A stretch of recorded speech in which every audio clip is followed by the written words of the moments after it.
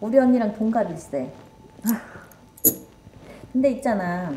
이 임자생이세요. 네. 근데 남자분들 임자생은 오히려 사회생활 착실하시고 규칙적이시고 어, 조용히 편탄하게 사는 사람이 많은가 한- 반면에 여자 임자생은 있잖아 지레밭이야.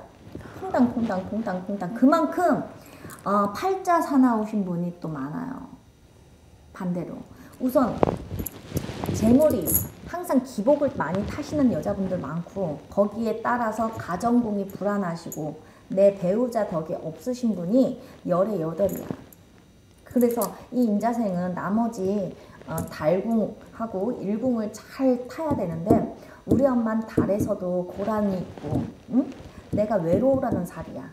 어, 달에서도 고란이 있고 일주에서는 조상의 업을 지어 조상의 업을 타거나 그러다 보니까 이게 무슨 말이냐 엄마라는 사람의 사주는 지금 내가 태어나서는 아버지 덕이 없어야 되고 성인이 돼서는 남편 덕이 없어야 되고 사주에 아들 있을 거예요 그죠? 네.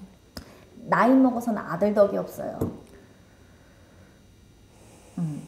그첫 번째, 이 아버지는 능력이 있으면은 성질이 지랄 막든지 개팍해야 되든지 밖으로다가 기집질 하든지 노름질 해야 되고요. 안 그러면 능력이 없든지 명줄이 짧아야 돼요. 골골하든지. 그런데 우리 엄마는 아버님 인연이 굉장히 짧아요. 음, 그래서 내가 어, 충분히 내가 사회에 나올 힘을 유년 시절에 다 받고 나오지를 못하고 준비가 안 된 상태에서 나오다 보니 배움도 짧아야 되고 기능도 내가 습득이 안 돼 있는 상태입니다.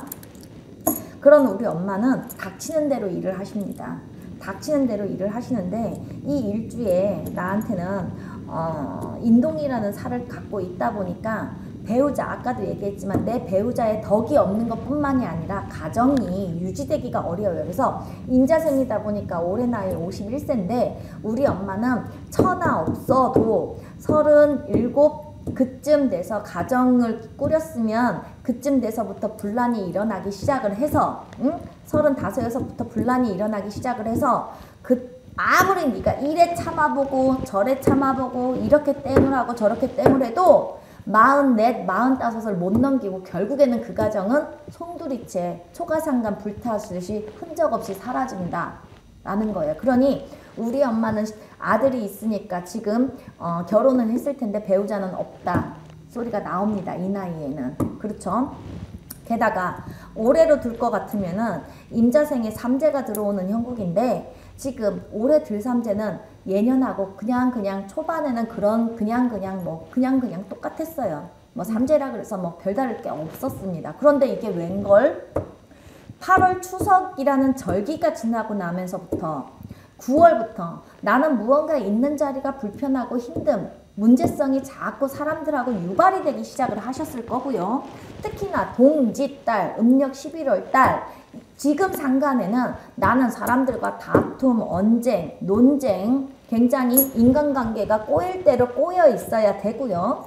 더더군다나 내년 수정으로 바라볼 것 같으면 눌삼재인데 잠유 형살까지 안고 있는 삼재라서 관청에서의 문제를 유발하든지 아니면 내가 몸이 다칠 수도 가지고 간다. 당연히 그러다 보니 네, 내가 돈이 발복하기보다는 365일 중에 일 못하는 날이 올해보다는 내년이 더 많을 것이요.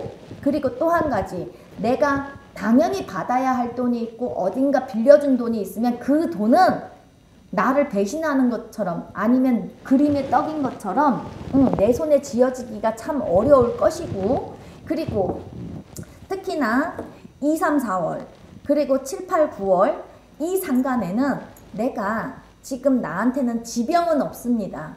응, 그렇다고 자주 무슨 뭐 잔병치레를 하시는 우리 기준님은 아니에요. 네. 어, 그런데 그 상간에는 내년에는 내가 어딘가 뼈마디 어딘가를 불편함으로 다쳐야 돼요. 다치면서 일하는 데 있어서 쉬어갈 수밖에 없는 또 상황이 생기실 거예요. 왜 그렇다? 삼재의 형살 때문에 그렇다. 그리고 또 한 가지는 지금 내가 어, 금전이 자꾸 막히고 있어요. 응, 들어와야 할 돈도 안 들어옵니다. 그게 이 11월 달부터 점점 점점 이제 들어오기 시작하거든. 왜? 11월이면 내년 운기가 들어서기 때문이에요. 그러니까 내년 2023년에 개미년에 당신은 눌삼재의 형사를 안고 있어서 손재가 유발이 되니 당연히 들어오는 돈군형은 막혀야 되는 것이며 사람들과는 가는 누구를 만나든지 간에 그 끝이 안 좋아야 되고 그리고 그 끝이 당연히 언쟁이나 서로 구설이 타고 탓을 하고 시비가 오가야 되는 인간관계도 꼬인다.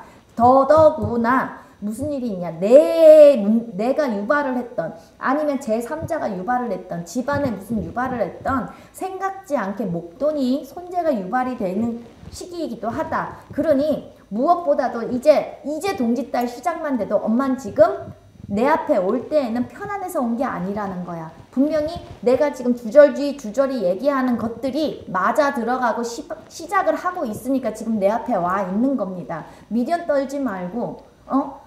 꼭 삼재는 내가 제껴 놓고 가시는 게 손재나 몸을 보호하는 일입니다. 특히나 우리 엄마는 배우자 또 이 배필, 연인, 누군가 나를 좋다고 다가오더라도 그 마음이 길지가 못해요. 음, 그래서 좋다고 다가왔던 사람이 한결같기를 바라, 바라는 게 당연히 여자이겠지만 유독 더 짧아요. 그 인연이. 그래서 내가 예를 들어서 1년을 만나다 헤어진들 좋은 거는 한두 달이요. 나머지는 응? 그 뭐야 헤어질까 말까를 이렇게, 이렇게 뭐야 반복하면서 그 시간이 가지 좋은 날은 얼마 안 된다는 거야. 그만큼 나는 이성적인 덕이 적다라고 말씀드릴게요.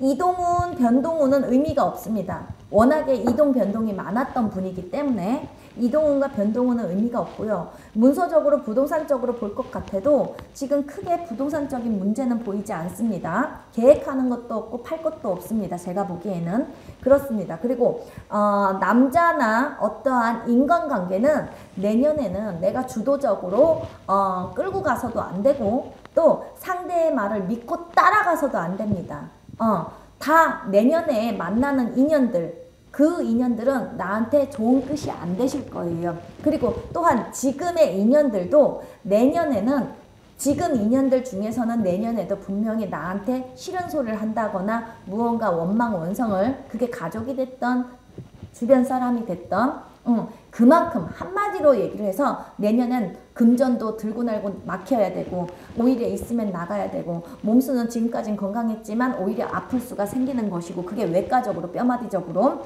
그리고 사람들과의 관계가 아무리 내가 잘해도 아무리 백번 내가 양보를 해도 내가 한 발 양보를 하면 두 발 양보를 하라 그러고 그래서 내가 두 발 양보를 하면은 아예 그냥 세 발 네 발 양보를 하라 그러고 그러니 미치고 팔짝 뛸 노릇이다. 웬만하면 내년에는 조금 활동성을 많이 좁혀라. 많이 좁혀라 라고 말씀을 드릴게요. 그래서 쉽게 사람 만나는 일은 없는 게 낫습니다. 괜, 괜히 사람 만났다가는 뭐 이상한 일에 휘말릴 수 있어요. 이성적인 배필 관계에 있어서. 그리고 또 한 가지 우리 엄마 사주는 아까도 얘기했지만 내가 지병을 달고 산다든가 잔병 치레가 많은 분이 아니에요. 그런데 반대적으로 얘기를 하면 이 사람은 병이 들면 죽고 살고야.